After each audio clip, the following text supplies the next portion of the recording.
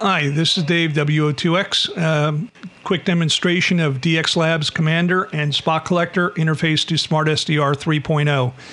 I have uh, Commander set up to talk to the radio using the SDR 6600 selection.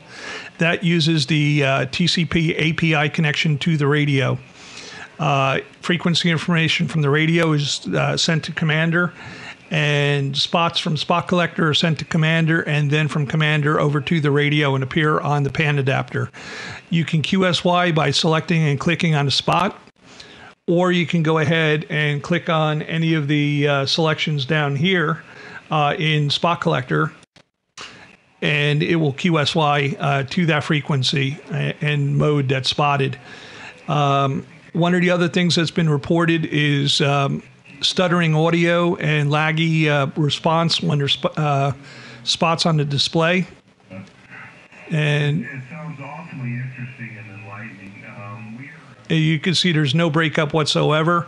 Uh, the pan adapter and the waterfall are working fine. Got some static crashes tonight, as you can see. Anyway, um, this again was just a quick demo. There are a couple features that do not work. Uh, in Commander, you have a PTT transmit and receive button. Uh, it will put it into transmit, but not back to receive. And the, uh, I do not normally use that function, so I never noticed it before. The other functionality that does not work is the mute function in DX Labs, which again I do not use. Uh, so for chasing DX, uh, clicking on the spots, having the spots show up in the pan adapter, uh, being able to select a spot and have the radio QSY by using the spot collector or by the spots on the display, uh, both work uh, perfectly fine. So um, there's um, nothing that I use it for that is not you know not working in version three. Uh, any questions? Uh, you can respond to my thread in the community.